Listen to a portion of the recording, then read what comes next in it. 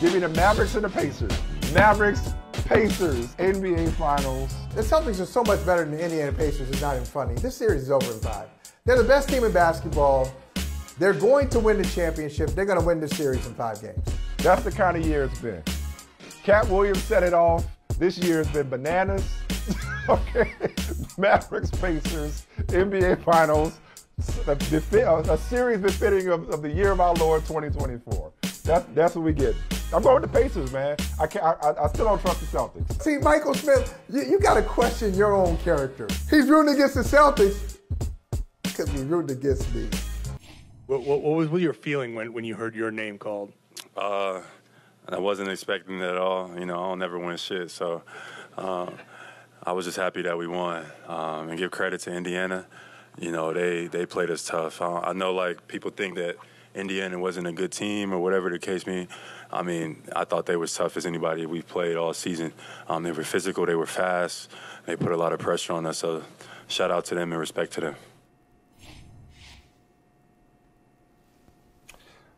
You know, I come to you for my Boston insight and information. For all things Boston, I'm not just, I don't want to limit you to Boston. I'm going to put you in that box. But for all things Boston sports, especially, I come to you and I expect better from you.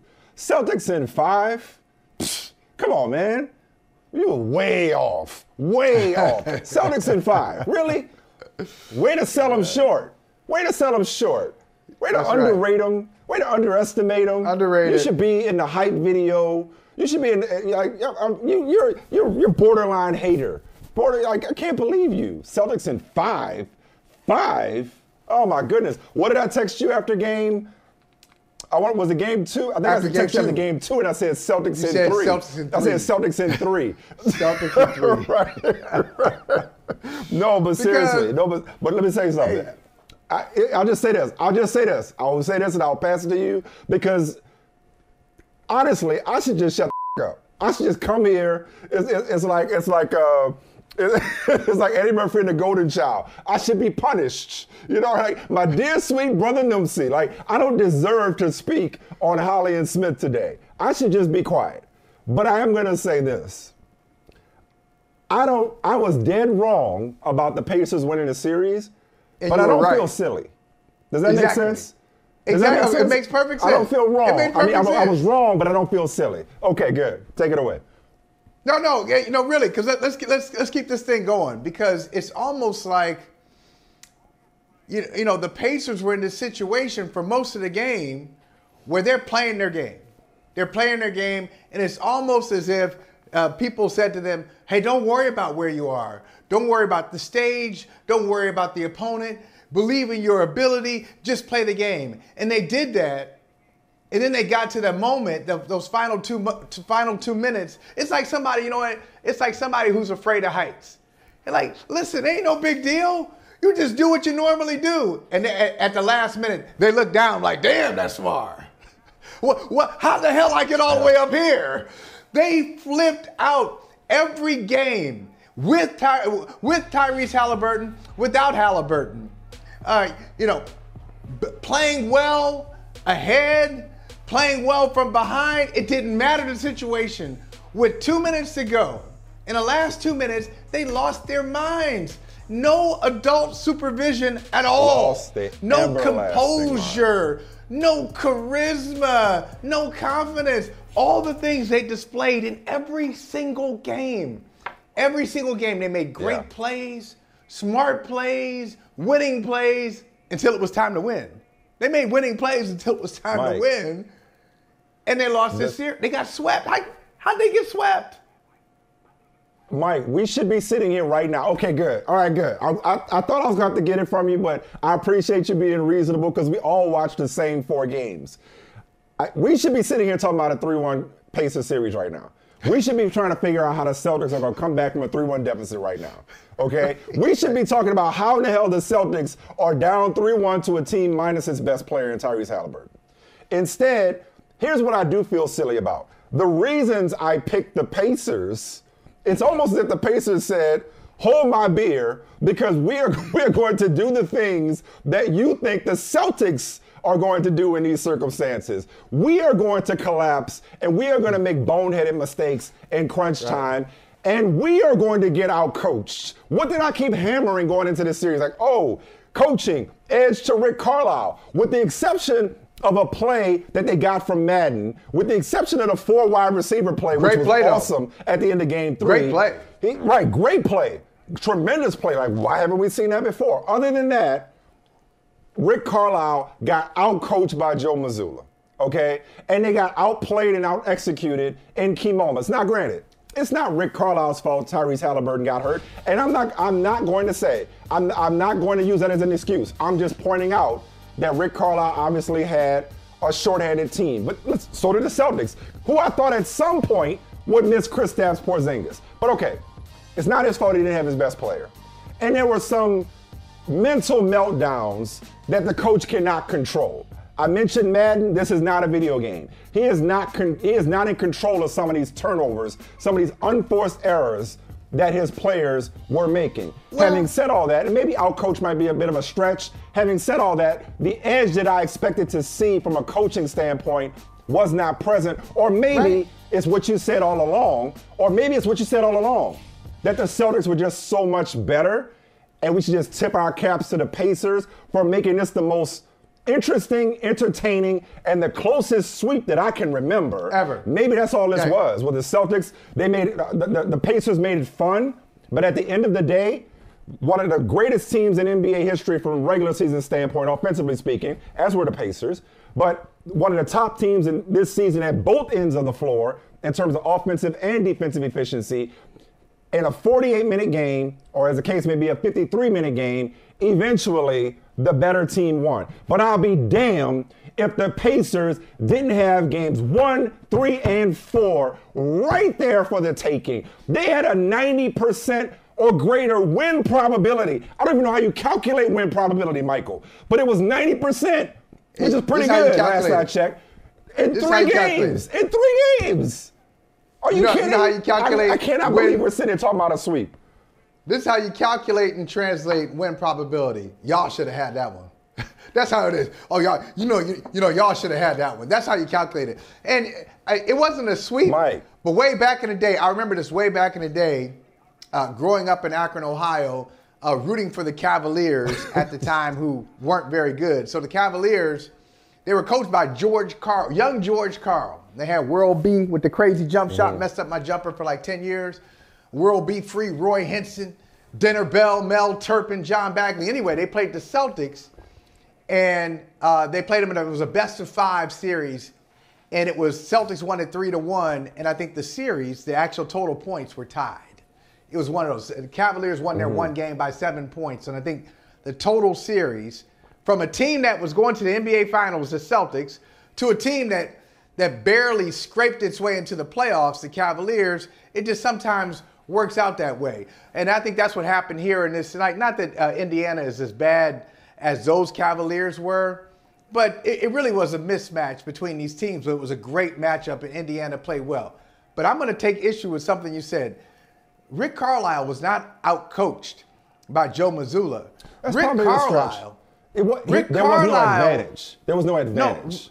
Rick Carlisle stood in a vacuum and just was like he got caught. He got I don't know the vapors or something like something took over his mind. Joe Mazzulla had nothing to do with it. Right. Joe Mazzulla okay, was yeah. standing there he saying nothing to do with it. Yeah, sure. I, I can't believe yes, this dude. Yes. Game Joe one. Just, How about game one? I'm gonna just let you. I'm gonna let I'm gonna let you just go ahead and mess up yourself. Go. I ain't got to do yeah. nothing. You you got it. Game, like, absolutely, game absolutely. One, that, that, you're right. Says, That's the better way of putting it. I should have called there, a timeout. This was no.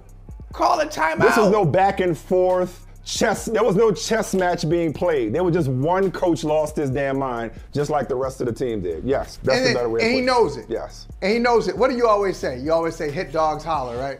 Hit dogs holler. Okay. Yeah. You see his. You see his little performance after Game Three. So I don't know if he has hit. I don't know what the reporter is. Maybe there's probably a little history with the reporter. But after they lose Game Three at, at the Madden play, as you call it, um, and you know, good, good, performance, good effort from the Pacers, and they had a shot. Aaron Nesmith really got open for a nice shot. Reporter says to him, "Hey Rick, you know, in the last two minutes, he starts asking this question. You know, you were up by eight. Oh, I and you know what? I just I just saw it. I saw everything. Yeah, everything. I said so. Next next question. He was mad. He's mad. Right. Why? Right. Because he knows there's. It wasn't just the young team making mistakes. He was making. It's a championship coach.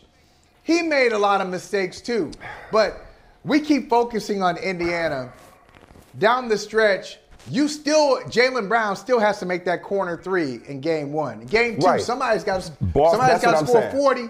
That's he what gave I- him 40 in game two. That's what I Jrue felt Holiday. about. Boston, Jrue.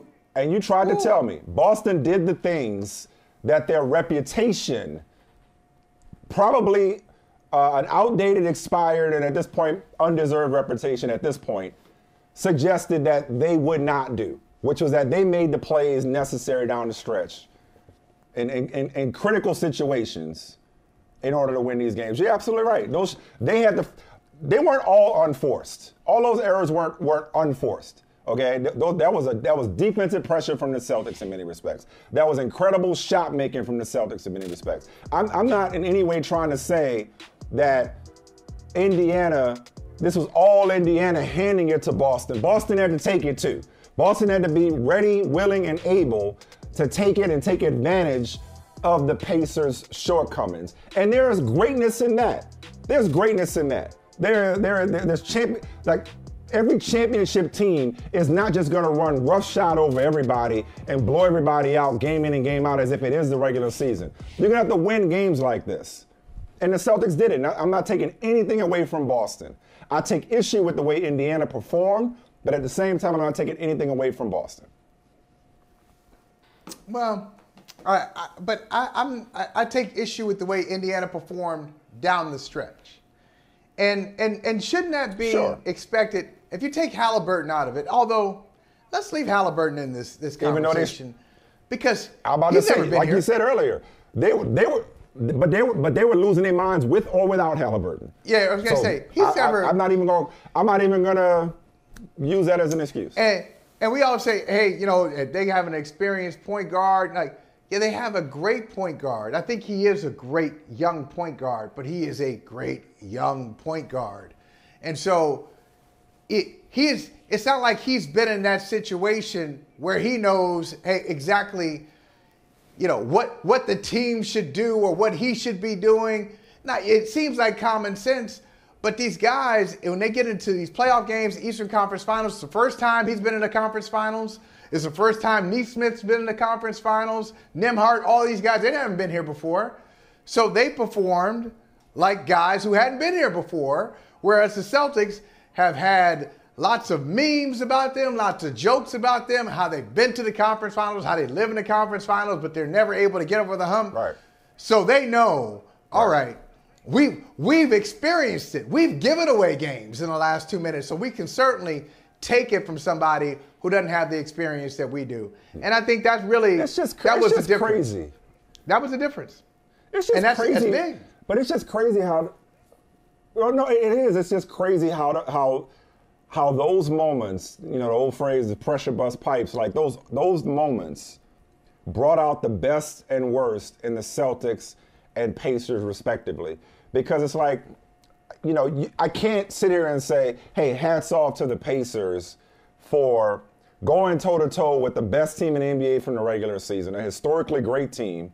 Um, you know, the number one seed going away, going toe to toe with them, even after losing Tyrese Haliburton. I can't give them like credit when though that same squad, uh, you know, uh, uh, of the the other guys, like they had them right where they wanted them. Like they still should have won three of those four games even without their best player. So I, I just don't. I can't say, hey, they gave it their best. Like They should have won one. We're like, nah, man, they should have. They should have won one. Which one should they? Should. Should have won one. game one. Three and four, game one. no. Not should have. Three and four, no. No, no, could have won games three and four. Like should have won last night? No, no, I wouldn't say that. Um, should have should have won game three. Uh, What should have? Game I one. mean, from from a you got ball- perspective, Listen, yes. You got. I'm telling you. Okay, there you was got the less time remaining the moment, the, the moment ball. of truth was was much small, was Dude. much shorter in game one. I'll give you that. But the I'm collapsing, you. look, there's a, there's a lot of different ways to choke. Give- give me And that And they 97%. found three unique ways to choke. Give me that 97% win probability. Okay, I will take this situation. I, forget about the Indiana Pacers, I, who couldn't even make my high school basketball team. Okay, I will take this one. Give me the ball, up by three, with 10 seconds left, and all I have to do is get the ball in. If I just get, the, if I can get the ball in, uh, I'll be all right. So, but this goes back to uh, Carlisle. No, Before I even that throw was, the ball in, worst of the three, timeout. for sure. That was the worst. Right. timeout, get the ball at half court. So now you're not even fighting. You're not even in the situation to throw the ball away where Jaylen Brown is getting that position in the corner. If a coach calls timeout, which Carlisle should have done, now you move the ball up and it's even easier to throw. Now you can work with more of the court. You can That throw was the ball the worst. in. If, if we're if we're hey if we're ranking them, yes, that was the worst of the three. Should have had that. ranking them. The other But- ones, hey, if you go Okay. take it, if somebody takes it from you, they take it from you. No, um, I mean, I, I'm, I'm just, I'm still blown away. I'm still blown away. I, I really, at, at, like three times, I'm sitting, I'm like, these dudes, these dudes about to give this game away again. I'm like, I'm going to have to eat it through no fault of my own.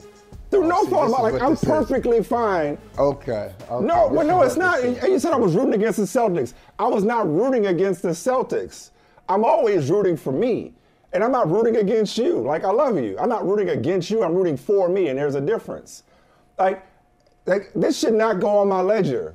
This should not, this should not go on my scorecard.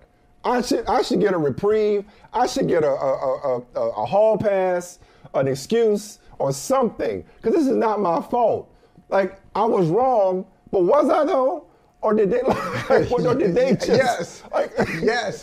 I was they wrong, became but a different Yes. team. Yes, you were. They became, they became a different, uh, they became a different team. And the- I mean, this, I was like, where's the team that had these leads?